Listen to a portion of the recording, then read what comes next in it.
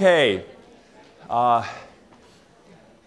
today I get, get back to doing flashlights.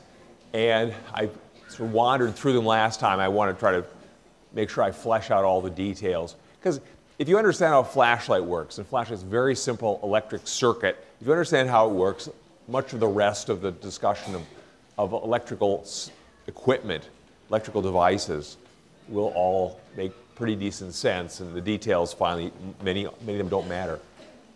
So with a flashlight, one, one second, having, having just sneezed.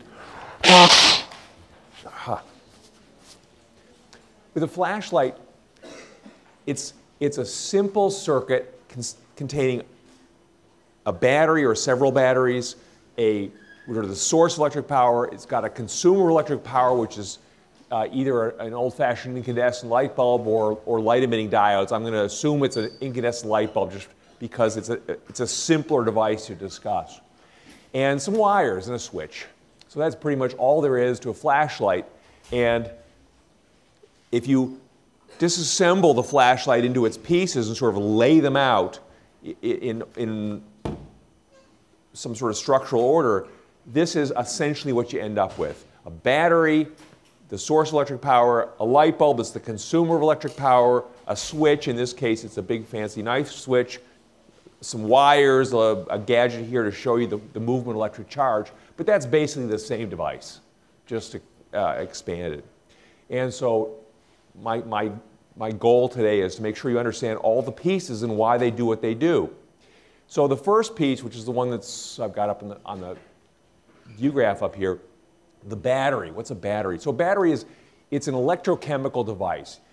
When you're consuming electric power from it, there is a chemical reaction going on within that, within that, that battery that is carrying electric charge against its natural direction of flow. So electric charge loves to go, electric charge again by, by convention refers to positive charge charge likes to go from high voltage to low voltage. When it does that, it releases energy, and things tend to accelerate in the direction that reduces their total potential energy as quickly as possible. If the main total potential, the main potential energy that an electric charge has is electrostatic, that, that's voltage, because uh, voltage is, is the measure of electrostatic potential energy per charge. It, it likes to go from high voltage to low voltage and release the potential energy. So a battery does the, does the reverse. A battery carries charge. When it's providing power, it carries charge from low voltage to high voltage. And my, my analogy, and now, now I'll try to get the analogies clean and, pass along to you. I've got two analogies that work pretty well. One of them is an altitude analogy, and the other one is a water pressure analogy. So the altitude analogy is to think of, of objects. Um, I think in the book I've got skiers but it can be bowling balls, it can be anything that you lift up. And so you've got a lifting device that carries, say, bowling balls to the top of a hill. Uh, bowling balls don't go up to the hill for free. You got to carry them. You got to do work on them, give them energy to, to take them from low altitude to high altitude. And they love to go from high altitude to low altitude. You give them an opportunity, they roll downhill. And so the battery, in carrying charge from low voltage to high voltage, is doing is analogous to some lifting machine carrying bowling balls from low altitude to high altitude, packing them full of potential energy. For the bowling balls, it's gravitational potential energy. For the electric charges, it's electrostatic potential energy. But the basic idea is the same. Is that okay? So, battery, it takes electric charge the way the electric charge does not naturally go. And it does this by consuming chemical potential energy. The, there are, the, the, the chemicals are essentially acting as ferries, carrying the charge to higher voltage and therefore higher electric, electrostatic potential energy. The details of how the, of how the battery works depends a little bit on the battery. The general idea is these electrochemical processes that do it. The, the chemistry of the battery matters. And the two chemistries that you encounter, uh, it's, a, the, the two main ones that you encounter are the alkaline chemistry, which is associated with the, the, the AA batteries, the AAA batteries, the D batteries that you encounter. Uh, if you still see the 9 volt batteries, which is what I'm using with this microphone, the chemistries in these, the alkaline cells, are, are able to move charge from low voltage to high voltage until the voltage rise in the battery, that is the, the, the, the, lifting process that carries charge from low voltage to high voltage, develops a certain uh, voltage difference between, between its destination, the, the, destination for charge and the start. And the alkaline chemistry can carry it across about a, one and a half volts. That's all the lifting power that chemistry has. If the voltage difference between those two terminals, the, the, the, uh, the starting point and the finishing point, which actually are going to be sort of the negatively charged side and the positively charged side. Once the voltage difference there gets to be more than one and a half volts, the chemistry shuts down. It cannot shuttle the charge anymore. It's too much energy per charge, and it, it can't push that hard. So it just it, it's, it gets stuck and, and, and bogs down. The lithium chemistries, and you encounter lithium batteries quite often now. Um, that chemistry is a more power, aggressive, powerful chemistry. Lithium is a, uh, I should say, the alkaline chemistry, the main source, the main storage of energy is actually in zinc metal. I, th I think I said that before. Zinc is a fairly reactive metal, that is, it likes to react with oxygen, uh, chlorine, various uh, other things on the right, the rightish side of the periodic chart, but that doesn't, that, that's not, a, not important to know. Uh, lithium is a very reactive metal compared to zinc. It's, it's, it's, it's much more, uh, yeah, much more reactive. It's, its reactions with things, you throw, you throw it in water and things happen fast. So lithium, the lithium chemistry is able to carry charge, this is where, where I'm heading, it can carry charge across a bigger difference in voltage. It can actually carry charge through three volts and, and even more than three volts, not, not much more than, I don't know if they can ever get to four volts, but, but in the vicinity of three to four volts. So the point is that a single alkaline battery can only provide, or alkaline cell, it's called, the chemical cell, electrochemical cell, can only carry charge from, from uh, a source to a destination where the difference in voltage is about a volt and a half. That is one and a half joules per coulomb. It's how much energy it can give in the pumping process. If you think of the battery as a pump or a lifting device carrying bowling balls, it's like carrying bowling balls. It's like, it's like you got a lifting device that can carry a bowling ball up one and a half feet and that's all it can do, or one and a half meters, that's all it can do. Uh, the, that's the alkaline chemistry. The lithium chemistry can go three meters or three and a half meters. It's, it's, it's got more oomph to it. Is that okay? Um, the car battery here, I was, it's, it's, it's, a third battery that you encounter sort of often. You don't really look under the hood very, very often. Even, even people used to tinker with their cars don't look under the hood anymore because it's gotten too complicated and computerized and all that stuff. There's, they've kind of killed all the fun. Technology advanced too much. But anyway, there is, in all likelihood, if you've got a car, there's a, there's a battery like this sitting inside, and it's a lead acid battery, and that's, it's been that way forever. Uh, it is, even those maybe be, if you got a Prius or something, it's not that anymore either. It's a lithium battery again. But okay, so go back to this guy, this, this lead acid battery. Uh, the main energy storage medium there actually is lead metal, um, yet another metal around um, not one that you want to ingest, but you, you leave it in the battery, and when the, when the battery goes bad, you have it recycled carefully because it's a toxic metal. But anyway, there it is. And the lead acid chemistry can carry charge from, from, from its, where, where it's picked up, the source to destination, across about two volts. So it's somewhere in between the uh, alkaline chemistry and the lithium chemistry. And yet the battery that, that lead acid battery, if you've ever paid much attention to how your car operates, virtually all cars are 12 volts. Uh, they have, that battery is a 12 volt battery, and yet it's made, it has, uh, its constituents are 2 volt cells. How do you do that? Well, actually, it's got six of them. It's got six 2 volt cells in what's known as series. And what series means is that, you, that, that any charge passing through one cell subsequently passes through the next cell, passes through the next cell, and the next cell. They, they, they work one after the next in series. I mean, I mean, I guess I'm using the word to define the word. But that's the concept of series as opposed to what? As opposed to parallel. And parallel is another uh, common way in which things are arranged in electrical circuits.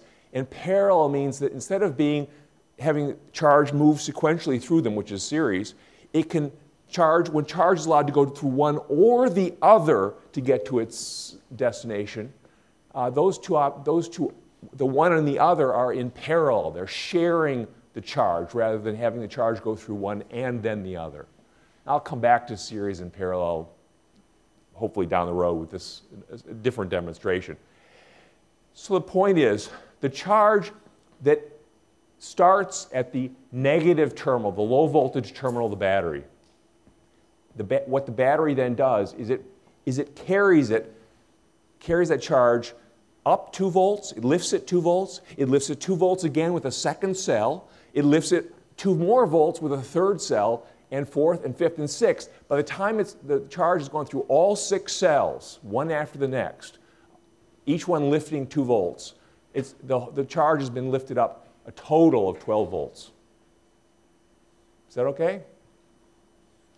Uh, this sort of, this sort of system where you have the charge goes sequentially through cells is not unique to batteries for cars. It's also present in these flashlights. So this flashlight, I, this is a, an old-fashioned incandescent one, right? It has two D batteries inside.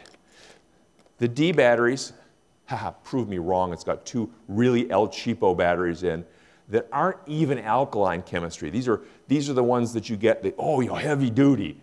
Well, it's, it's even, a, it's still zinc. The energy is in zinc, but this isn't even, it isn't even as, as uh, it's a crummy version of a zinc battery. The point being that it's still one and a half volt battery, but it doesn't store as much energy as an alkaline battery does. So it's a, it's, this, these guys will go dead very quickly. Setting that aside, th these are, these are essentially the batteries of my childhood, um, which were crummy. Um, you guys have much better batteries around.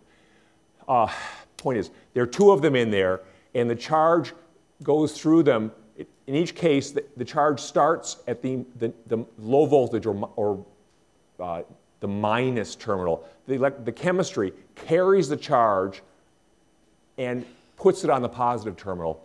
And it, it will do that until the voltage difference between these two terminals is one and a half volts. If you put two of them together, one after the next, now you've got a structure, and I'll put down the parts. You've got this series arrangement where it can take charge that starts at the negative terminal.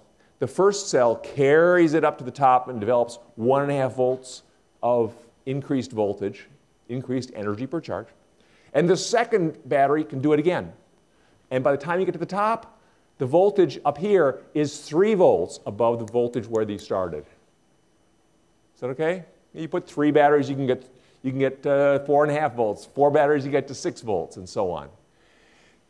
and some flashlights, as they get longer and longer and have more batteries in them, more of these kind of batteries, the voltage gets larger and larger, which is often useful. It means that the charges that are available at the positive terminal have more energy per charge available, more voltage. They can go do more stuff. Every charge can go get more light produced, for example, before it goes back and it picks up more energy. So that's the story of, of those batteries. One, one more thing to talk about with batteries, and I, I have a picture of this stuff in my book. These batteries are, are 9 volt batteries. I don't know how often you guys see them anymore. They used to be called transistor batteries because they often ran transistor radios, again, in my youth. But um, they're still alkaline chemistry. You know, okay, I got in that harangue about the heavy duty batteries that aren't even as good as alkalines. This is actually consists of, of six little teeny alkaline cells. If you disassemble this, you'll find six little cells inside. They have different geometries. I don't know what the geometry of, of these guys are. But that, that's why they've got a package around them with, with terminals on the end. It's because they're trying to hide the six little electrochemical cells that are hiding inside. And all it takes is one of those cells to go bad and lose its ability to carry charge at all. And suddenly the whole battery is so, no longer functional so that the failures are, these guys fail more easily than the single cells, which all go bad at once. This, this, these guys, have, they're, they're more, there's more vulnerability in here. Uh, the same thing is true of car batteries. Um, you know, sort of the public service announcement thing. The car batteries really do have uh, lead metal in there, and as they consume their stored electrochemical uh, energy to, to provide elect electric power, uh, the, the, lead, the lead changes, and I think primarily into lead oxide. And when you run the car, the car has as, as, a generating device that recharges the batteries, and I'll come back to, to rechargeable batteries shortly.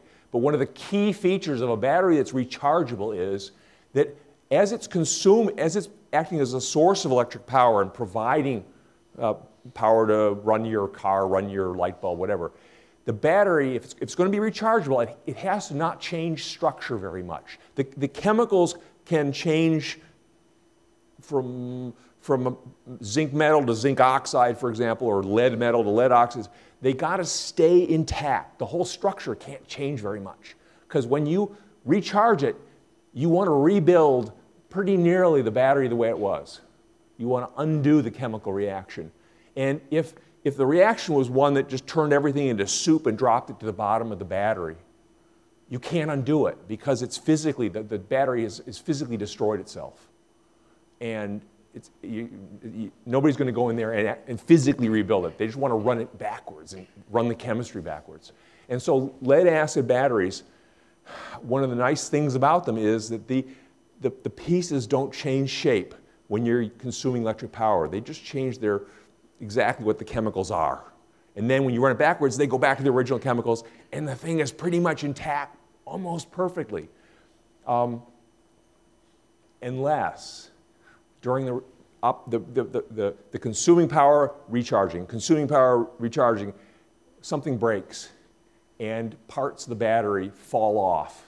And being made of lead, they typically are heavy and drop to the bottom of the battery. And that, that's the usual failure method for a, for a car battery, is that after you've, had it for five years, and you've, whether you've noticed it or not, you've been consuming power from it when you're starting your car, you've been recharging it when you're driving, and consuming, and, part breaks off, drops the bottom of the, the, the battery, and you lose one of the cells. There's six of them after all, right? If you got one of them, it's just basically uh, nothing. It's an empty space, gap. The whole system is broken. You can't, the charge can't work its way from low voltage to high voltage anymore. It's got a bad spot in the middle, and your battery's dead. You have to replace it. Is that okay? Uh, alkaline batteries, pretty much not rechargeable. Why? Because the source of electric power is, it's typically zinc, but it's not zinc chunk, it's zinc powder. And when you consume it, the powder gets ruined. And when you try to rebuild the powder, you can't rebuild, it doesn't get rebuilt as a powder. It rebuilds crummy shape. The shape's all bad. And so you can't recharge alkaline, the alkaline chemistry, you can't undo the, the consumption process easily. I'll come back to recharging shortly, but, but that's, basic idea. Lithium batteries, you can. They work very hard at making rechargeable lithium batteries. Those are, you guys are all used to having rechargeable lithium batteries and don't even think about it. Um, they would be, have been completely astonishing to people in the, in the 60s and 70s. Oh my gosh, they store that much energy and they're rechargeable hundreds of times without all this fussing and dealing with details. Um, you, you don't know how good you got it. You know, anyway, I would say you don't deserve it, but no, you deserve it. All right. So, last couple of details here. The chemistry determines the voltage difference between the, between the negative terminal battery and the positive terminal battery. That, that's how much the, the charge is lifted up in voltage. Um, the, all the alkaline batteries, that is the AAAs, the AA's, and the D batteries, they're all one and a half volt batteries. So if you, what does that mean? That means that these are, this is a D battery. Do I have a, I've got you know, triple A's in my, in my laser pointer here. Yep. You know, so even though it's not officially an alkaline battery, I mean, okay, I get the purist in me goes, okay, I'm, I'm, I'm lying here for pedagogical reasons. But, but they're almost identical chemistries. Anyway, they're both one and a half volt batteries. What's the difference then between these two? The difference is how much energy they store. This one, in principle, stores a whole lot more energy. It's got more chemicals in it than this one. So if you, if you try to consume uh, energy from it, you'll get, I don't know how many joules you'll get out of this. You'll get three times that many or five times that many joules of energy out of this one. It's just got more chemicals around to store it. The other thing is if you try to consume the, the energy quickly, which is to say you're trying to, to draw a large amount of power out of it, because remember power is energy per time, this one can deliver more power. It can simply, yes, they're both one and a half volts, but if you try to take out a joule per second out of each of these guys, this one will be, this can probably pull it off. This guy for, certainly can pull it off. It's just got more, more surface areas in there. It's, it's able to move more charge faster. Is that okay? So in principle, if you're desperate for, you run out of D batteries and you just you absolutely need to have 30 seconds of light from your flashlight or something like that, you can put little AA batteries in there if you can get the pieces to touch properly. It'll work. It's the same voltage. It just can't deliver as much power or for as long before it runs out of juice. All right.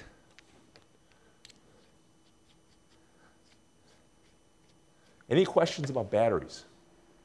In general, anything but batteries.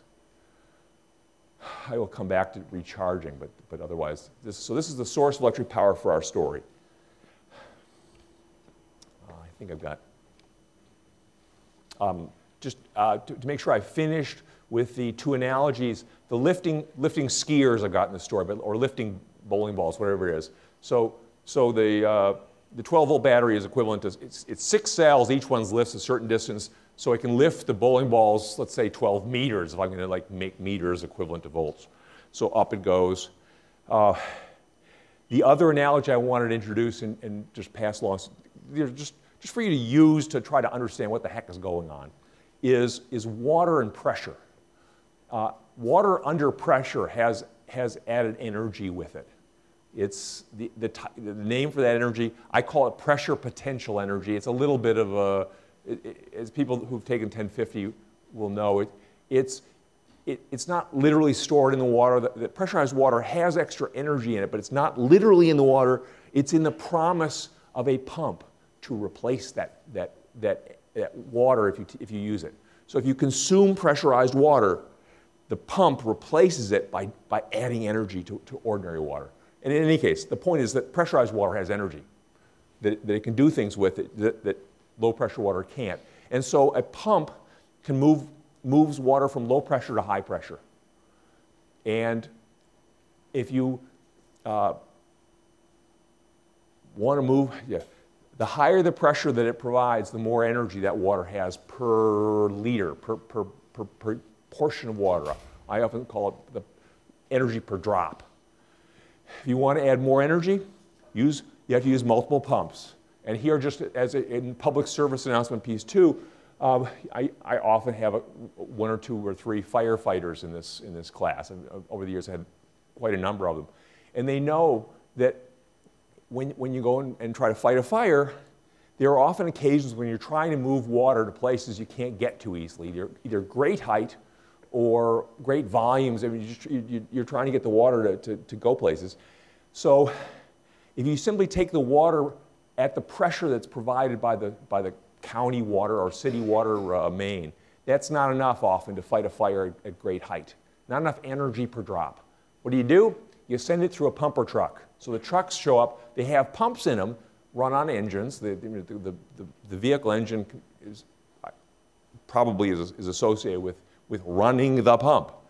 And that sending the water through one, one pumper can get adds enough energy per drop. drop. It's, it's like running through a battery. It takes the water in at one, at one uh, pressure and delivers it at a higher pressure. Just like a battery takes electric charge in at one voltage and delivers it at higher voltage. And if you got to go fight a fire at greater height, what do you do? You actually run the water, and they do this. They run the water through more than one truck and more than one pump. So the water goes into one, one truck through out, comes out at high pressure out, out, of, out of that truck's pump, and it goes into a second truck. And a second truck's pump and is pumped, is pumped again to, to yet higher pressure. So they play the same games of series circuitry uh, that a battery, that, a, that a, like a car battery does. You, want, you need 12 volts? Fine. Go through six 2 volt cells. You need, to hit, you need to fight a fire on the 83rd floor? Fine. Go through six pumper trucks. Water, building the pressure up each time. Is that okay? So hopefully these will be somewhat useful to you as, as analogies for, for, for voltage and circuits. Okay, so the other half of the, the other the key, key player in a circuit is the light bulb. And the light bulb is a, it's effectively a wire, but it, it um, it's a wire that highlights the, a, an important characteristic of all ordinary conducting device, conducting materials, and that is that they don't conduct electric, electricity perfectly or for free. Uh, making electric charge move through, move through them costs energy. Um, just to, to, to make sure I fleshed out the story that's going on here. When I close this switch, the light bulb lights up. And, and I'll remind you what, what's going on here, and I can turn on this little gadget so you can, in principle, see the flow of electric charge, and I can zoom in so, so if you can't see directly, you can see on the screen. And what's happening is the battery, we, we have to start somewhere in what's called a circuit, the circuit being a continuous loop. Let's start here at the negative terminal of the battery, the low voltage terminal. The battery does what I just described in the past 20 minutes. You know? it, it takes charge from the negative terminal, chemically lifts it to 2 volts higher, 4 volts higher, 6 volts higher, 8, 10, 12 volts higher. And when the charge arrives here at the positive terminal of the battery, it's, got it's, it's at a 12 volt increase in voltage. So the battery is providing, just again to build language, it's providing a 12 volt voltage rise for the electric charge passing through this system. Uh, and I'll remind you also that electric charge on the move, when electric charge is flowing and going somewhere, we describe it as a current, an electric current if you want to be more picky, as opposed to a water current. But it's a current of electric charges, and the battery provides an electric current with an increase in voltage, a voltage rise, in this case 12 volts. Questions about that idea? Okay. So the charge can leave, well, it's available here. If you want to get it, it's available here at 12 volts higher than it, than it, than it started. And if there's nowhere to go, it just sits there. And the chemistry stops doing anything interesting. The charge is there. The chemistry can't move any more charge because if it did, the voltage would get the voltage would increase beyond 12 volts and the chemistry itself can't handle that. So the chemistry shuts down. If I do give it a way to go somewhere by, by attaching this wire, poof, the charge now starts to go through the wire. It goes through the switch, which is, which is closed. The, the, the, the jargon word for, for the current situation is closed as opposed to open. So that's an open switch, that's a closed switch. Do I care whether you remember those words or if they mean anything, you know, who cares? It's, the idea is that it's now a continuous piece of metal from there all the way through the switch to the light bulb. At the light bulb, the charge is arriving there with lots of energy per charge. So there's a voltage, there's voltage anywhere you like, but the voltage right here at the entrance to the light bulb is almost, but not quite 12 volts. It's a little less. And we'll come back in a little while to why it's a little less. But so the charge is there at essentially 12 volts, and it goes through the light bulb, and when it leaves the light bulb, it's basically lost all of its energy per charge. That's what made the light bulb light up. The energy per charge was being consumed by the light bulb, and it leaves the light bulb at approximately zero volts. It's actually a little above zero volts. Again, we'll come back to that in a minute. But there was a voltage drop in the light bulb between where the current entered and where the current left. And that voltage drop is about 12 volts. It's, just under 12 volts. So pretty much all the energy that was added to the passing current, the passing charge in the battery, is dropped off in the light bulb, which makes it white hot and, or you know, yellow white hot and, and is making it send out light and heat into the room. And the charge then continues you know, here's the little, the little gadget showing you it's continuing. Can you see that? Sort of. And it goes back to the battery's minus terminal uh, and picks up more energy in the battery and, and does the circuit again.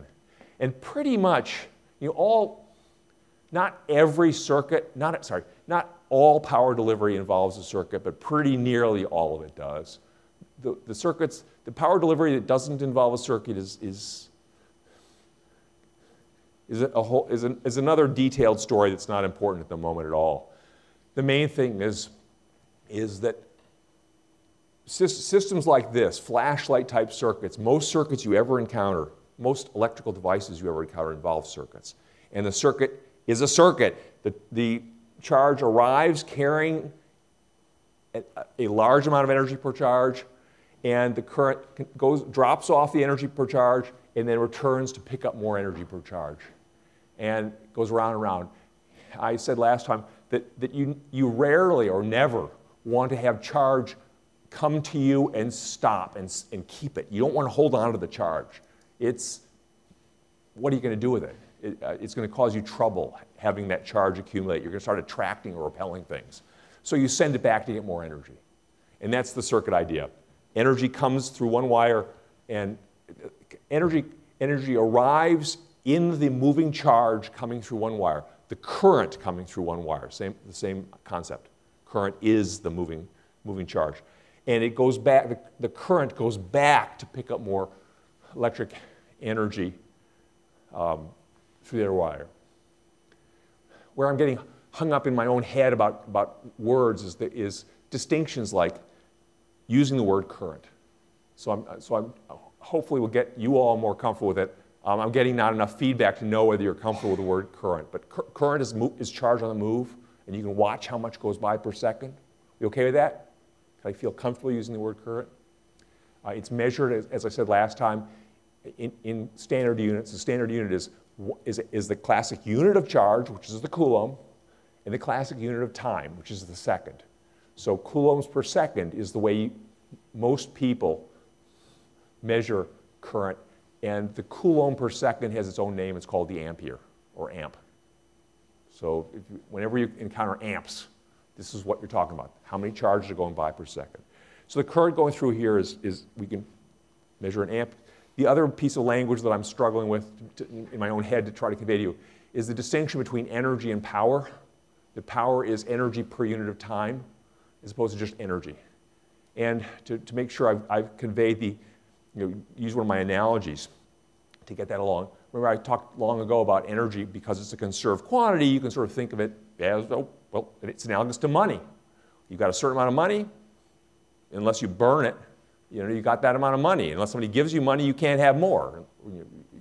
If you're law abiding, you, the amount of money you got is fixed.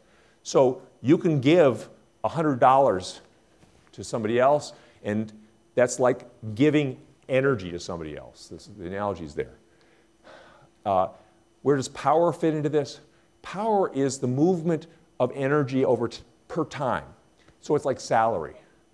So you, if you've got a salary of, be optimistic, $1,000 an hour, really optimistic. $1,000 an hour, that means that every hour, 1,000 units of this stuff, of dollars, come flowing into your coffers. That is like power. It's like energy per time. That's dollars per time. So, so power is, is, a, is typically a steady uh, flow of energy from one place to another. So, so actually, to, just to, to pin this down then, this circuit right now is moving about, according to the light bulb here, 80 watts of power from the battery to the bulb. How's that happening? That means so that's 80 joules every second is going from the battery to the bulb. How is it happening? It's happening because every charge that, that moves from the, whenever charge moves from the negative terminal to positive terminal of the battery, it, it picks up 12, 12 volts, which is 12 joules per coulomb. So every coulomb that moves from, from the black terminal to the red terminal uh, acquires 12 joules of energy in going through the, through the battery sucked out of the chemical potential energy of the battery. And when it works its way through the wires and, and passes through the light bulb, it drops off that same 12 joules per coulomb. So in order to, to drop off 80 joules every second, you need a, a, fair number, a fair amount of charge moving through here because every coulomb drops off 12 joules, but you got to get to 80 of those joules every second. So you need about seven coulombs going through the circuit every second. So there's about seven coulombs of charge moving through the battery and, and experiencing a voltage rise of 12 volts, and then going through the, through the light bulb and experiencing a voltage drop of 12 volts. Seven coulombs per second is, is seven amperes. So the current flowing through the circuit right now is about seven amperes. Ideally, we, I'd come up with a nice even number. It's seven amperes of, of if, if, if uh, the current is going through a voltage drop of 12 volts here in the light bulb, and 7 amperes are flowing at 7 times 12 is 84 watts, 84 joules per second. So you know, it's, it's about 7 amperes, but a little less maybe. Is that okay? Questions about that idea? I'm starting to get dazzled by the bulb. So I'll turn the gadgets off and come back so that. All right, uh, camera.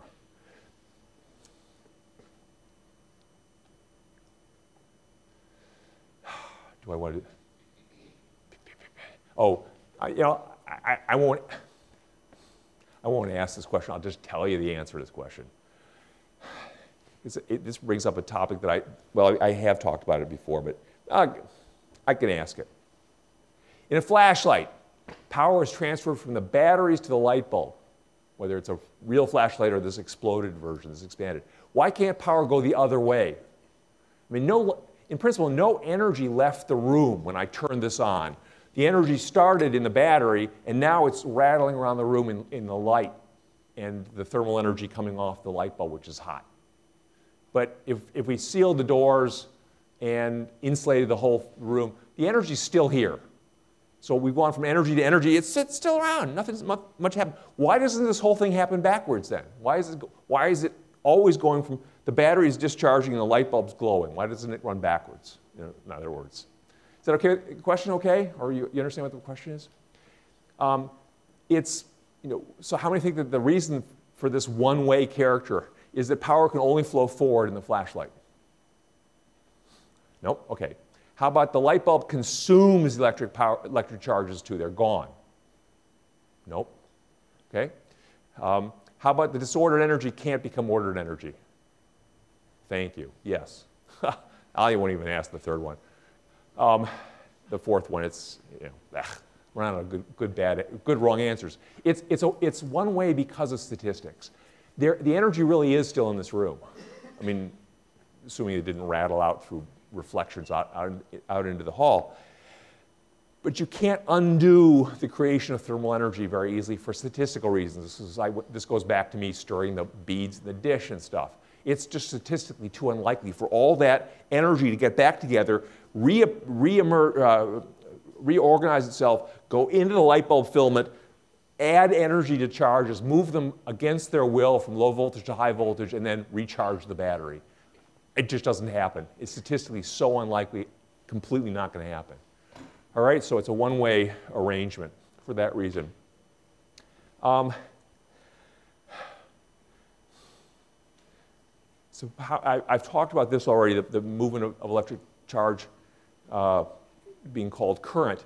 Where, where, I think I want to go instead of, rather than try to hunt through my slides for, for what I want to say here, is that the, the reason that the light bulb consumes electric power as current flows through it is because it highlights the fact, it's a, it's a, it's a particularly strong example of the fact that the electric charge does not move for, for free through ordinary conductors, which is pretty nearly everything you ever encounter.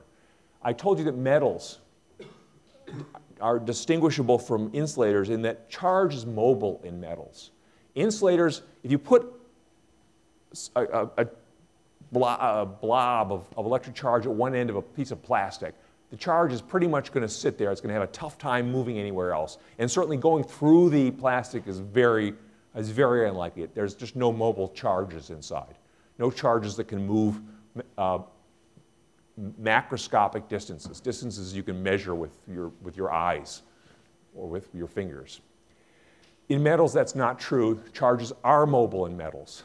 They can go long distances. So that if you touch, put charge on one side of a piece of metal, a pot, the charge will very quickly move around the metal and be, be obtainable, for example, on the far side of the piece of metal. So that's true. However, although metals can let charge move, they, they, there's a cost to the charge moving. The charge loses uh, energy moving through the metal. It's essentially a, it's, it's a friction-like effect. Whatever way the charge tries to move through metal, it loses a little bit of energy en route. And to make it move through the metal and keep moving through the metal, you have to push it. So for charge to move through even these wires, you have to push it. Well, what pushes charge? Electric fields. Remember electric fields? You need an electric field to push charge, and charge, being positive by, by convention, moves in the direction of the electric field. So to make charge move through this wire and this wire and the light bulb filament and the other wires, there has to be an electric field pointing in the direction the charge should move. How strong does that electric field have to be? Depends on the, on the specific metal or, or, con, or conducting path that it's moving through. In these wires, even a little, it all takes a little electric field, just a little, but it's got to be there. If it's not there, the charge will slow to a stop by, by sort of rubbing effects. And those rubbing effects will, will take out the, elect, the, the, the moving charges, the currents, uh, energy, and turn it into thermal energy. So these wires will get a little hot. And uh, to keep them moving forward, you need a little electric field. How do you get an electric field? You get it by having a voltage drop in the wire. The voltage here, I told you, is 12 volts because that's what the battery provided. The voltage here isn't 12 volts anymore, not now. Uh, to get the charges, we've got 7 amperes of current flowing through this wire. To keep that current moving through the wire, you've got to push it. It needs an, a forward electric field, a pushing electric field. So the voltage is decreasing in this wire a little bit. It starts at 12 volts, and by the time you get over here, that, that, that might be uh, 11.9. You might lose one tenth of a volt in going through that wire. And that difference in voltage, remember, creates a voltage gradient. Remember voltage gradients? Voltage gradients are electric fields. So that drop in voltage creates the electric field that is required to push the current through the wire. All right? The analogy to, to, say water flowing and water pressure is the same thing. You want to make water flow through a pipe, you got to push it. It doesn't go through the pipe for free because of friction-like effects too. So you want to deliver water to your tree house, or, you know, or your, your, your the cabin in the woods a mile from your house. If you put ordinary household water pressure into that pipe and hope that the water will make it all the way to your, to your cabin in the woods, at full pressure, full energy per drop, nah, it's not going to do that. You have to boost the pressure. It's going to be, it needs to be pushed all the way, and it's got to be pushed by a gradient in pressure. And here, it's a gradient in voltage that's doing the pushing. All right? So this is maybe 11.9 volts. Goes through the switch, 11.8 volts. Gets to the light bulb, 11.7 volts. Goes into the light bulb filament. That light bulb filament is very thin um, it's designed to be a terrible conductor of electricity. And, and a, a material that has a poor ability to conduct electricity has a large electrical resistance. That's the, the, the, the, classic way of characterizing a conducting path's ability or inability to carry current well is called electric resistance, how much it fights the flow of current. This has got the, by far the biggest resistance in this story. As a result, making 70 amperes of current flow through that light bulb filament takes a very large electric field. It's, it's hard to get that current to go through there. And therefore, you have to push hard. The, you need a very large voltage difference between entry and exit, big voltage drop. So the voltage goes from almost 12 volts to almost zero volts in the filament to keep the current flowing through, I mean, when I, when I connect it. Okay? So the current is, is struggling to get through that, that filament. Um, it's, it's it's rubbing and dragging terribly and getting very hot as a result. The energy, the, the charges leaving have almost no energy left. They have just enough to carry them through the last wires. Remember, they still, you, still need a, you still need an electric field to push the charges back to the battery, so you need a little bit of voltage drop left to get the charges back to the battery. So when this is all operating, it's like to, to, to go back to, to, one of the analogies, the lifting up and then letting, lifting bowling balls up and letting them go. This lifts the bowling balls up. It lifts them up 12 units, 12 meters if you like. They then roll a little downhill through the first wire because the wire won't take them for free. You gotta, you gotta push. They'll go through the, the switch, through this wire. They're getting a, they're, the bowling balls are coming down a little bit, just as the current is coming down a little bit in voltage. Going through that filament, tremendous loss of energy per charge, which is equivalent to just letting the bowling ball plummet almost to, to, to the floor. And that energy is released in, in, the, in the descent of those bowling balls. They're coming down through, I don't know, uh, bouncing and rubbing against everything, struggling to get down, just as the charges are struggling to get through the light bulb filament. They come out, in the, in the, in the real story, they come out at almost zero volts. In my analogy to bowling balls, they come out at almost floor level, not quite little, they're a little above floor level because they still got to go back to the lifting device, which the battery equivalent. They got to roll a little bit downhill to get to, to, the lifting device, which then lifts them up and lets the whole story go again. So round and round they go like that. And that's really how the circuit, a, a flashlight circuit works. Questions about any of that? Well, let me stop this. What I wanted to show you, a couple things. I, I, I, did promise that I would say two cents at least about, about batteries and recharging them a battery in this story over here is entirely a source of electric power, meaning that it takes charge in at low voltage, uses its chemicals to move the charge to high voltage, and lets it go running through the circuit to do interesting things. What happens if you shove electric current backwards through the battery? Well, first of all, is that even possible? And the answer is yes. If you take this, this battery here and you deliberately start pushing positive charges from, somewhere outside. You put positive charges on that terminal, you just pile them up.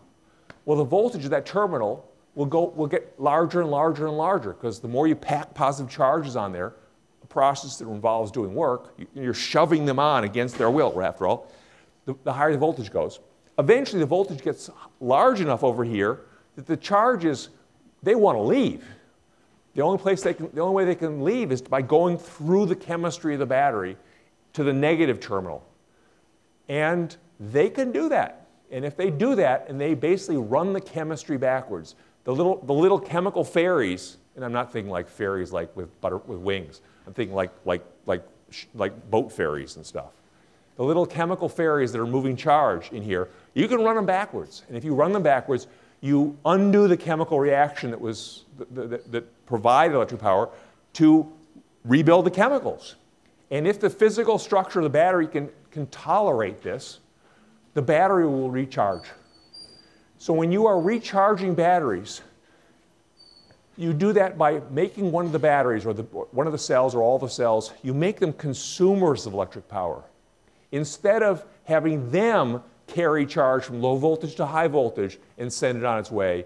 You force them to take charge in at high voltage, go through them backwards, and, and leave at low voltage with less energy.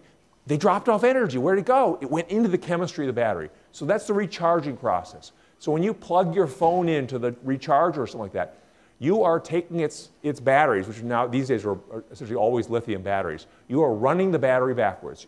The, very sophisticated stuff is going on inside your, your, your phone. It's, it's sort of amazing that this, this is, you, you have to pay no attention at all to this. It's so easy. Years ago, recharging batteries was very, was fraught with perils, fraught with ways in which you could destroy your batteries. So now you, you, you run the chemistry backwards, you make the batteries temporarily consumers of electric power, they rebuild the chemicals, and they store the energy. Not all the energy goes into the rebuilding chemicals, some goes into thermal energy. So when you recharge your phone, it, it typically will get a little warm.